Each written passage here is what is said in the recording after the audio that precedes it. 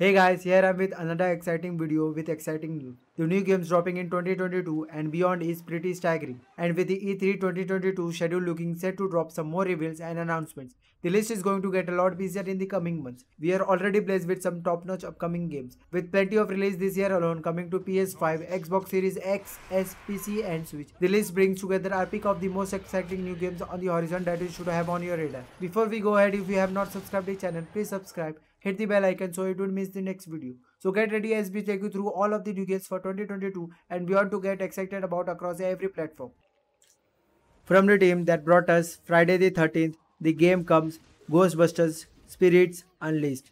It's another asymmetric multiplayer title where four players team up to play as the titular Ghostbusters and the one other player becomes a variety of ghosts with levels set up across different locales like libraries and hotels, the Ghostbusters must work together to hunt down and trap the ghost, while the ghost player must use all the spirity powers in their arsenal to slow them down and then escape.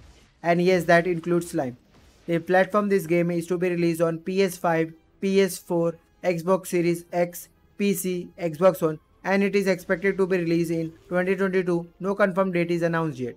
Sea of Thieves isn't the only open world pirate game out there. Ubisoft's Skull and Bones is also setting sail, with a much more realistic take on pirate battles on the high seas. Skull and Bones is basically Assassin's Creed Black Flag without the assassins, and it's being developed by much of the same team behind Black Flag, and promises a sweeping solo camping for control over the 18th century waters in the Indian Ocean.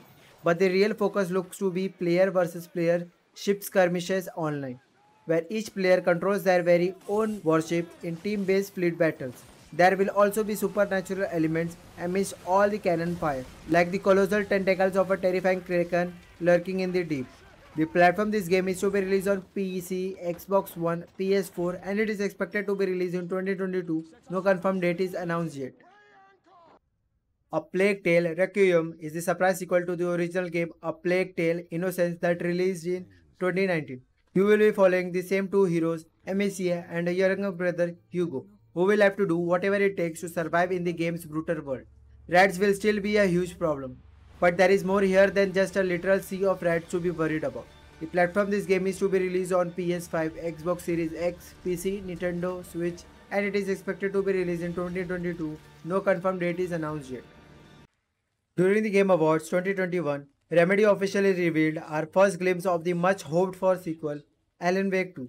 While we didn't get to see all that much of Wake's return other than a very gruesome crime scene and flashes of the protagonist standing in changing environment. Creative director Sam Lake did confirm it will be Remedy's first ever survival horror game. We are sure to see more of the games in summer 2022. The platform this game is to be released on PS5, Xbox Series X, S, PC, and it is expected to be released in 2022. No confirmed date is announced yet. The Dinosaur Hunting PC hit is back with a bigger ballsier sequel that features none other than Vin Diesel both in front and behind of the digital camera.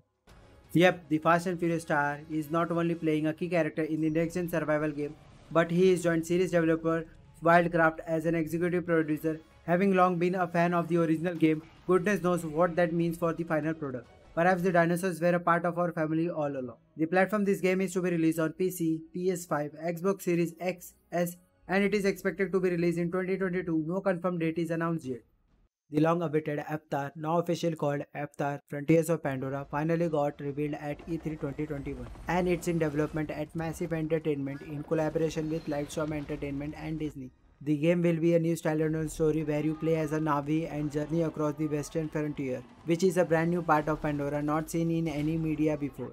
This is a first-person action-adventure title, with a living and reactive world that's fighting against the formidable RDA forces. The platform this game is to be released on PS5, Xbox Series X, PC, Stadia, Luna, and it is expected to be released in 2022. No confirmed date is announced yet. Thank you Nintendo. First you made Bayonetta 2 possible by bankrolling a Wii U sequel, and now you are giving Platinum fans more of their favorite bullet blasting beat with Bayonetta 3. Big cinematic. But its implications are higher. Bayonetta is already by the style offers them one possibly by a mysterious enemy based in purple.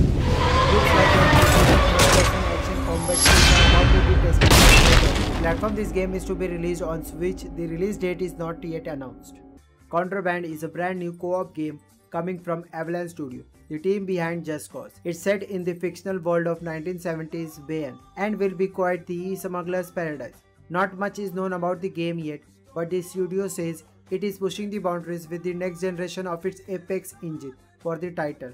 The platform this game is to be released on Xbox Series X, PC and it is expected to be released in 2022. No confirmed date is announced yet. Officially confirmed at BlizzCon 2019, Diablo 4 is set to take us to hell and back with what looks like a devilishly good sequel filled with dungeon crawling goodness. Set in the world of Sanctuary, you will battle against the burning hells in an always online experience that will enable you to fight alongside other adventurers. So far we know of the three classes you will be able to choose from including Druid, Sorcerers and Barbarian. Oh, and remember Lilith from Diablo 2.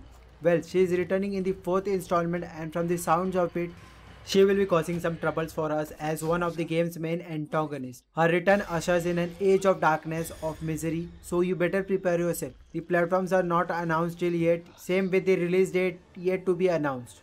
The next major project from BioWare after the disastrous Anthem Dragon Age 4 will continue the story left off by 2014's Dragon Age Inquisition, positioning former companion Solas as the upcoming RPG's central antagonist. We know little else about the game beyond this, but you can expect plenty of tactical combat, NPC chatter, and yes, dragon hunting. The platform this game is to be released on is not yet announced and also no confirmed date is announced yet.